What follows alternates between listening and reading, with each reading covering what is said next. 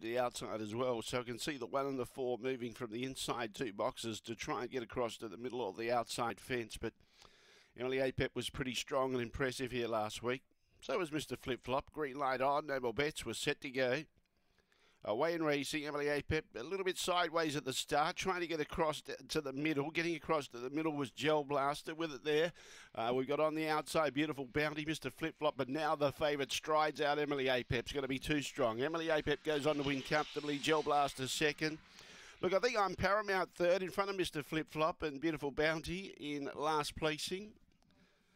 1660 uh, the time, approximately got that clear running room, was strong to the finish, and has been too good.